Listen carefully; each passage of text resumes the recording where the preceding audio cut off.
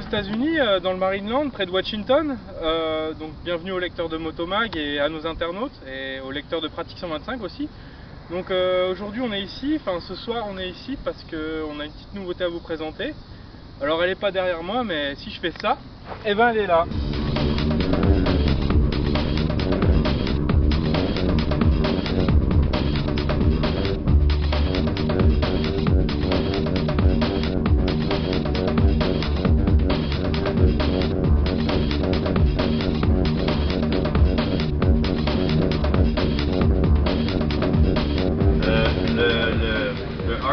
RECC a 1, 2, 3, 4, 5 écrans.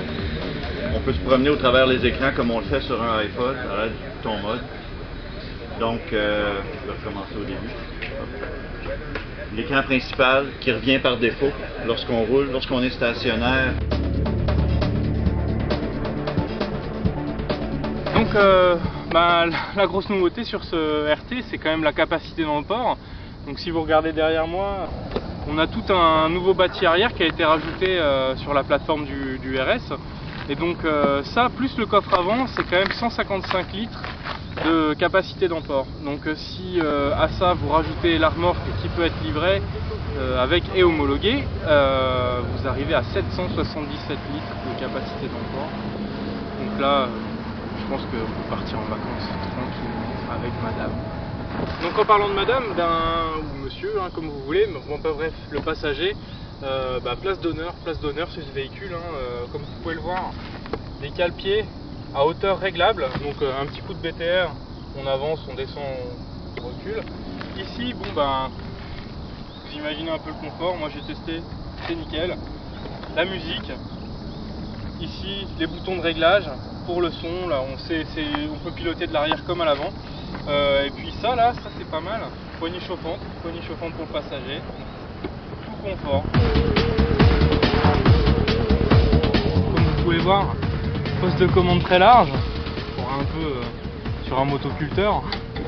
Euh, sauf que bon, il y a quand même vachement plus de style. Donc la nouveauté par rapport au RS, c'est quand même cet, ordinateur de bord donc, et cette commande qui permet de le contrôler. Donc qu'est-ce qu'on a au menu? La vitesse normale, les indications pour le cruiser. Ensuite, si on zappe, alors ça se passe comme ça, mode 7, on appuie sur mode, bon c'est un peu compliqué, hein. Ici, euh, les chaînes euh, CB, donc ça c'est pour euh, tout ce qui est casque Bluetooth, donc Canam a un petit système qui marche bien pour, pour parler entre différents Canam en fait. Bon, toujours au guidon, on a des commandes assez intéressantes comme ici euh, le, cruiser. Donc euh, la maniabilité c'est pas encore ça. Euh, il faut le mettre sur on comme ça. Ensuite pour bloquer il faut le bien appuyer. Alors vous voyez en plus là on est sur des modèles de pré-série mais bon ça bouge un petit peu de partout quoi. Donc là on a encore une autre commande. Ici avec l'ouverture du coffre. Là le frein de parking. Ça, ce sont les poignées chauffantes, donc euh, réglage sur deux, niveaux. Aujourd'hui, on n'a pas vraiment eu euh, l'occasion de les utiliser. Et puis ici, euh, réglage des suspensions. Donc ça, c'est c'est sur le plus haut niveau de finition du, du, RT. Et donc on sent très bien la différence là. Je sais pas si vous voyez, ça monte ici, tac tac. Ici encore, petite surprise, arrangement pratique. Bon bah c'est là que j'ai mis ma caméra, mes lunettes de soleil.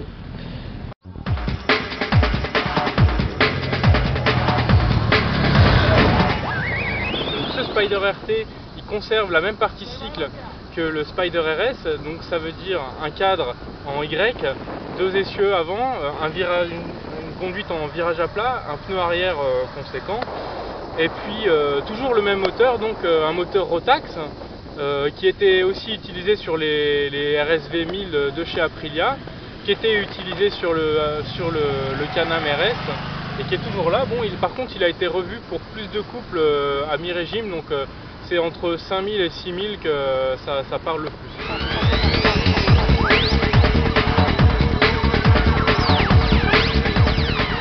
Bon, alors le, soleil se couche sur le Marineland, donc euh, on va pas tarder à rentrer. Aujourd'hui, on a fait près de, près de 300 km, même plus 450, 450 km avec, avec ce nouveau modèle Touring.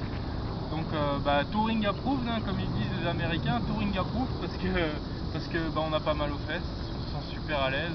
Euh, bon, c'est sûr, euh, ça penche pas, mais bon, ici aux USA, il n'y a pas vraiment besoin. Et puis, bon, bah, il y a des gens à qui, qui, ont, envie de passer autre chose. Et puis, et puis ben, s'ils n'ont pas envie d'aller frotter les genoux, ben, c'est une machine qui leur conviendrait très bien.